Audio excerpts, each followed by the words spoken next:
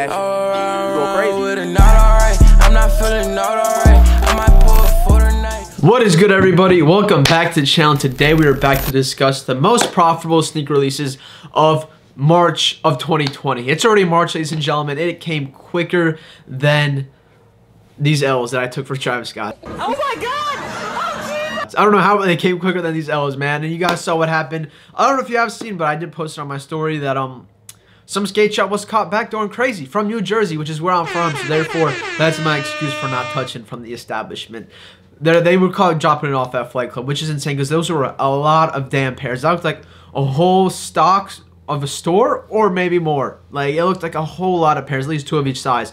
But anyways, we're not here to talk about the past. We're here to focus on the future and the top sneaker releases that are coming out this month. And once again, now there's a lot about one or to two every release every single weekend or so, and then we have some sprinkled in throughout the week. So before I start though, all this information will be directly taken off my premium Discord group, which is for $20 a month you can join. As of right now though it is sold out. We'll be restocking this sunday most likely. You can follow me at TommyBoyTV plus on twitter and instagram to stay updated on potential restocks or potential news and success posts like all that other stuff. So stay tuned for that. And also if you guys want a free invite to the free discord which is a lot not as much information not even close but it still is a good community out there. You guys can just send a screenshot. If you subscribe to this channel right down here to TommyBoyTV plus you got to follow the page though as well and i'll send you an invite link. I'll probably be doing those tonight and today is Monday night. So we'll be going through a bunch of releases. We got Jordans, we got Yeezy, we got Nike, we got Off-Whites, and potentially even a Travis Scott release. So we're about to head through it all. I'm about to pop up the green screen. Oh, and by the way, before I start, we do have a free giveaway going on as well on the Instagram. I do got to mention it real quick because it is a big one. It is free Strange Love SBs, baby. Free Strange Love, Nike SB Strange Loves free. Size 9, I think. Yeah, I want to say size 9. Yo, look at that money size, ladies and gentlemen. Money size, Strange Love SBs. In order to enter, you got to go to my post on my personal page at Tomas Cvercko and enter that. Trust me, yo, it's worth it, bro. And we might add a second winner for some Supreme tees or something like that. Because as I said, beginning of this year, we want to give back to everybody. So I'm about to pop up the green screen and I'll catch you guys. And boom, just like that, ladies and gentlemen, we got the baby up there. So first off, what I want to talk about is the Air Jordan 3 UNC, which we will have an early review for you guys, hopefully posted tomorrow, as well as a little bit of a how-to cop guide. And by the way, if you guys are wondering what I'm looking at, we got we got the whole entire beautiful computer sticker John out here. By the way, you can purchase your own sticker packs at tommyboytv.com if you guys are interested. Just one last one last little self-promotion advertisement out there. You know, your boy got to pay for college somehow. So we do have the Jordan 3 UNCs. As of right now, they're reselling for around 250 to 260 depending on certain sizes. This release, you should really focus on smaller sizes. They're coming out March 7th for a retail of $190 releasing on Nike sneakers and foot apps as well as select other retailers. Going to be a pretty easy cop. It's a GR release of Jordan Retros. Nothing too... It is based on the player exclusive though, Jordan 3s, which is going to drum up a bit amount of hype because it's basically the same thing, except the back tab is just separated with the Nike Air. Cool to see them bringing PEs into regular releases, just minor differences. But then again, I feel like it does take away from the PE value and the whole entire uh, like just the view of player exclusive sneakers. Everyone just saw sees them and they're like, oh, I can just might as well just get the general release that definitely is worth a lot, lot less compared to like thirty thousand plus dollars. The next up on March 10th, we do have the Nike and Sacai release of the LDV waffles, which you got the triple whites and the black, the triple black with the white soles as well. So there's two different colorways coming out this time. Typically, they've been releasing them in three different colorways. We had the Barney colorway with the wolf gray and the black. Then we had before that we had the multicolor, different material, the different colorways as well, including red and yellow, blue, uh, and then it was the all over print of the ugly ass ones, dude. I didn't like the way they came out though. I don't. And Blazers, I still have the white and black colorways of. Not really my style. The Blazers, at least, the LDV waffles though were were crowned to be sneaker of the year by many many different sources. Personally, I disagreed and I got caught a lot of shit for it on Instagram at least on Hype which R.I.P is gone forever and lost. It is what it is. Uh, but these will be retailing for $160. I see resale going around 300 to 350 Best colorway to focus on is the white colorway. And of course, smaller sizes will be the best way to go as well. It's definitely an automatic cop. Uh, they're doing very well. And looking, if you're looking to maximize profits, once again, focus on triple white. But if you want to play it safe, I would recommend just going for both colorways. And then one of the main Nike SB releases of this month is the Nike SB Safari, the Dunk Lows. They were only released in New Zealand and Australian shops overseas, and now they're finally coming back to the US. They're supposed to be slated for release in January. However, they canceled that and ended up pushing back to March, and it is finally here, and your boy is very damn excited. Now, these will be considered a GR release, not a quick strike, but expect them to fly at all skate shops. They'll be going very, very fast, and expect skate shops to begin posting release details about next, maybe this week to next week, but official date is expected to be around the 14th of this March. So we still have about 12 to 13 days. Well, 11 to 12 days until they officially do come out. And typically skate shops do release them a little bit earlier. Retail is going to be around $100 and resale i do expect to go over 200 to $300 once again smaller sizes on this one is going to be the main way to go about it. Then on the 14th we have the beautiful looking jordan the nike dunk low not jordan but nike dunk low syracuse aka the orange blaze is officially the official colorway orange blaze uh, it'll be retailing for $100. It is officially loaded up on Nike sneakers as well. Uh, this is based off the OG colorways of the Nike Dunk. Not SB, remember, this is different because the tongue is different as well as a few minor details, but the main difference is the fat tongue is no longer there.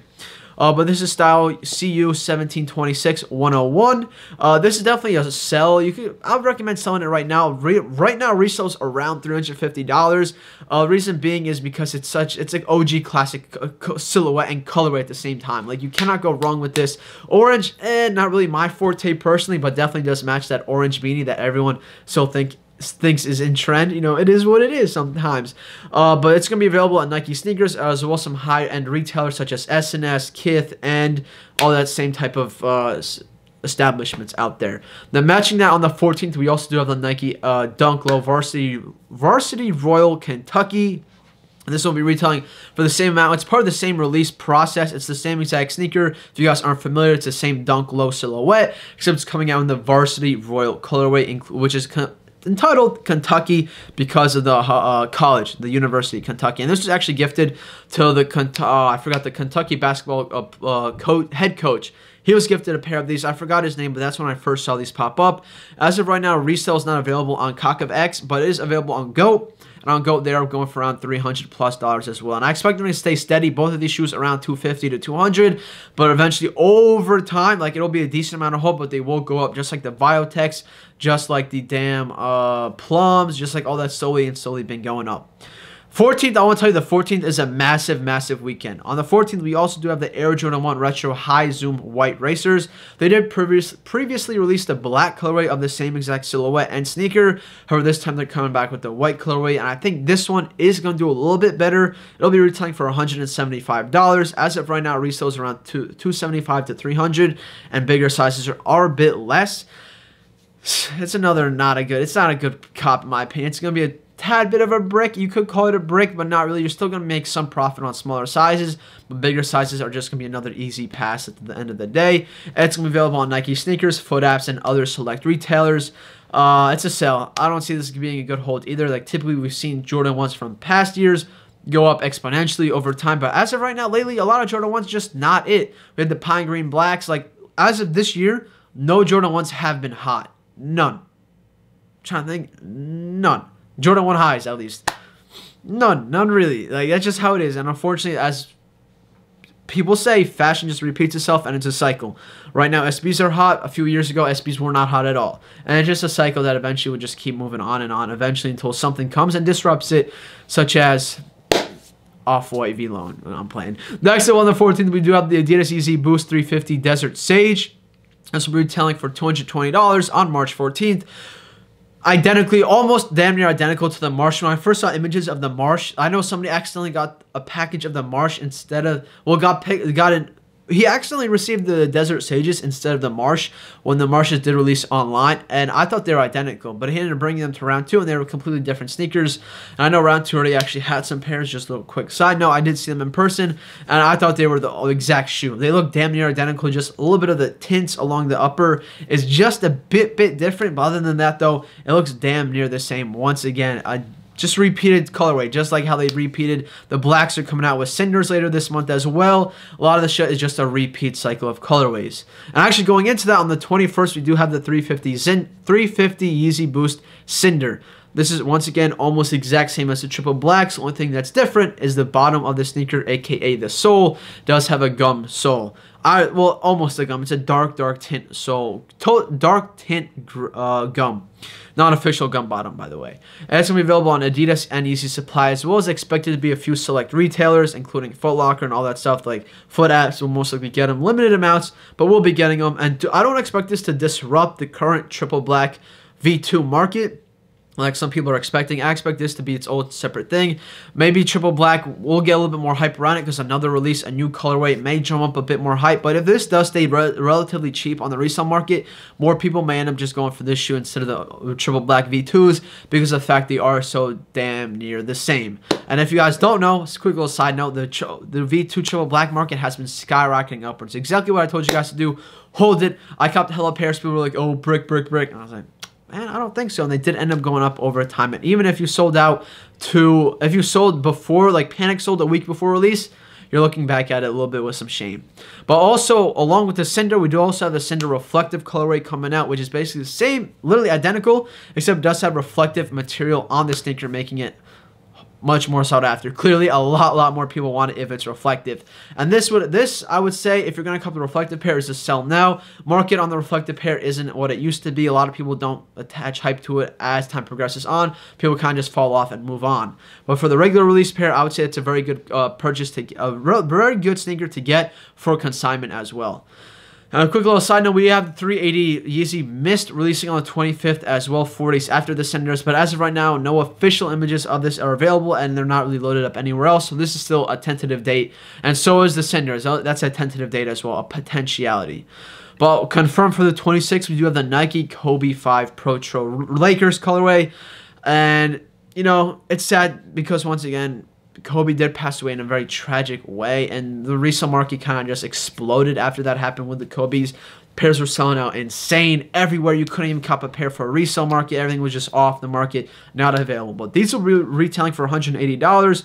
I expect them to be available at Nike sneakers, and I hope they really, really try to limit the way this release does go down. I hope they don't. I mean, I know Nike's smart in the way they're marketing because they have to be very careful with this release because they already had this shit pre-planned before that all happened, and they can't just sit on what like maybe thirty thousand pairs of shoes, like if not more. They they can't just sit on them and move on. Like it has to be sold. That's a lot, a lot of money so I do expect to retail for $180. Resale uh, right now is over $400, and I expect it to stay that way uh, because it's the Lakers colorways. It's iconic. It has the icy sole. It's the Kobe 5 Pro Trust. It's gonna be an automatic copy. If you're going for resale, I don't, I don't, I just don't recommend it because it's not like appropriate. You know, have some respect, pay some homage to the legend, and don't. But of course, the resale market's gonna be there. So if you're going for the flip life, there you go. You know, knock yourself out if you want to do that. But then on the 28th, we have the Air Jordan 5 Red Silver Tongue, which we're for $200. Available on Nike sneakers, foot apps, and select retailers. This is what I consider to be a brick, probably maybe 10 to $15 profit per pair. But after that, it's just going to pretty much be sitting on site. And I could see eventually it going on sale, maybe.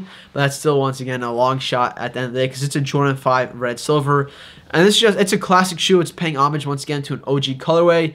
But um, it's just something I'm not a fan of no more, especially this type of five, like an all white five. But you know, if you sprinkle a little bit of off white on it, your boy might be a huge fan. It's just how it is, you know. That's how we come in 2020, ladies and gentlemen. But yeah, I mean, that's pretty much just about it. Once again, I am looking at my computer. I apologize if I was looking down so much, but that's the Jordan 5.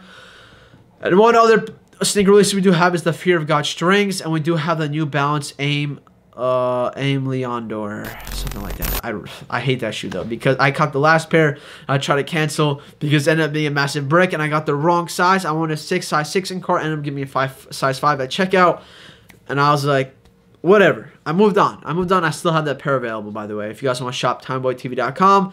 And that's pretty much it for this month. That is confirmed. Now, streetwear-wise, we do have a bunch of other stuff. We also have Nike Supreme Air Force Ones coming out this Thursday, which will be part of the Supreme video. But FYI, that's also coming out this month. So thank you guys so much for watching. I hope you guys enjoyed this upcoming sneaker release. I hope I gave you guys enough info.